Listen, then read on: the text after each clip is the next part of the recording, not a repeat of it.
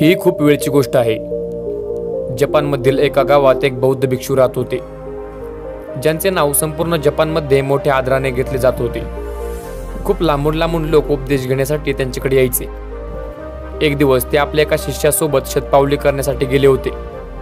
आणि तिथे त्यांना एक व्यक्ती भेटला जो त्यांना खूप घाणघाण शिव्या देऊन अपमानित करण्याचा प्रयत्न करू लागला.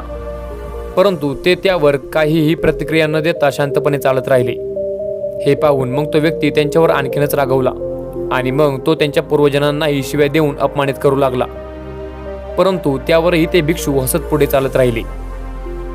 आपल्या गुरूंवर त्या व्यक्तीच्या बोलण्याचा काहीही परिणाम होत नाही. हे पाहून त्यांच्यासोबत आलेला तो शिष्य खूप हैराण झाला.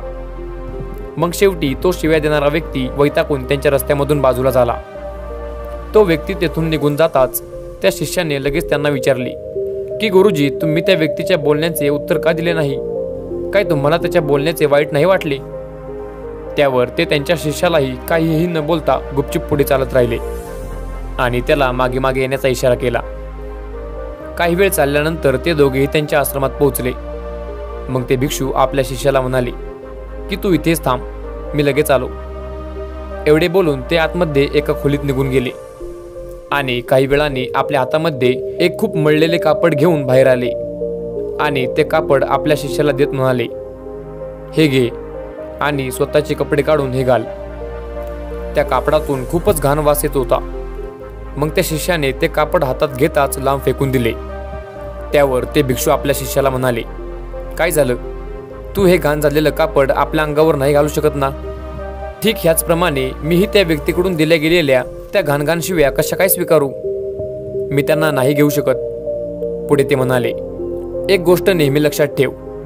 जर एखाद्याच्या वाईट वंगाळ बोलण्याने तू स्वतःही क्रोधित होत असशील तर याचा अर्थ हाच होतो की स्वतःचे स्वच्छ कपडे फेकून दुसऱ्याने दिलेले गलिच्छ व मळके कपडे घालणे.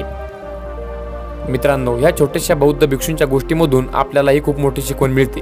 ती म्हणजे नेहमी शांत चित्ताने राहून स्वतःवर नियंत्रण ठेवण्याची. इतर कोणाच्याही बोलण्याने घाणशिवाय देण्याने आपण विचलित नाही झाले पाहिजे. ते म्हणतात ना एखाद्याच्या बोलण्याचा प्रभाव आपल्यावर तोपर्यंत पडत नाही जोपर्यंत आपण तो स्वतः पडू देत नाही. आपल्या मनावर फक्त आणि फक्त आपलेच नियंत्रण असले पाहिजे. आणि ते नियंत्रण आपण कधीही इतरांच्या हातात देता कामा नये.